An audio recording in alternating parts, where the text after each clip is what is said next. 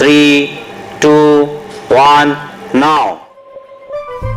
DRDO successfully conducted a flight trial of its long range hypersonic missile on November 16, 2024, from Dr. APJ Abdul Kalam Island off the coast of Odisha. Defense Minister Rajnath Singh congratulated the armed forces and the industry for the successful flight trial. In a post on X, Defense Minister wrote, and I quote, India has achieved a major milestone by successfully conducting flight trial of long-range hypersonic missile from Dr. APJ Abdul Kalam Island off the coast of Odisha. This is a historic moment, and this significant achievement has put our country in the group of select nations having capabilities of such critical and advanced military technologies. I congratulate Team DRDO India, our armed forces, and the industry for stupendous achievement.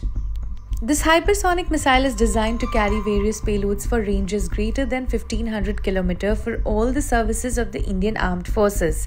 This missile has been indigenously developed by the laboratories of Dr. APJ Abdul Kalam Missile Complex, Hyderabad, along with various other DRDO laboratories and industry partners.